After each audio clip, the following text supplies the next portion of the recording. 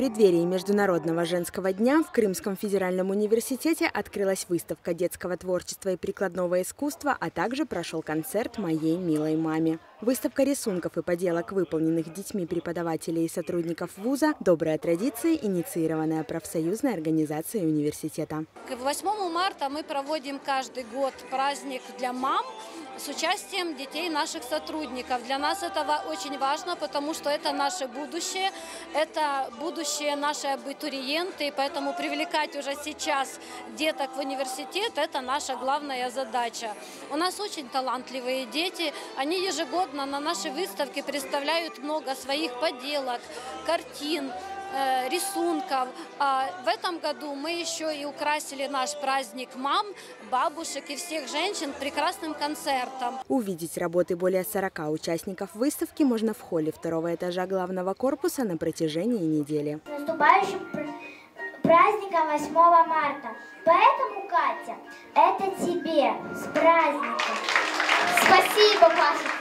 Также для всех женщин Крымского федерального состоялся праздничный концерт, на котором почетные грамоты и памятные подарки от администрации профсоюза вручили многодетным мамам, сотрудникам и преподавателям КФУ. Дети работников университета не только подготовили творческие выступления для концерта, но и попробовали себя в роли ведущих. Важную миссию доверили дочке заместителя директора Института биотехнологии, экологии и фармации Екатерине Алексашкиной и сыну директора физико-технического института Павлу Каширину. Ничего особенного не было, я не волнуюсь, это же просто...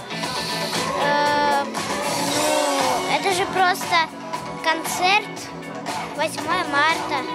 Все будет нормально, это точно.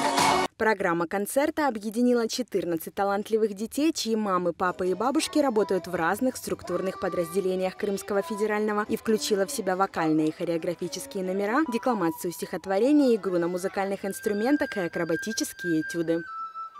Здоровья, счастья, чтобы все мечты сбывались, чтобы много идей было, творческих особенно, и чтобы много всего хорошего случалось в жизни.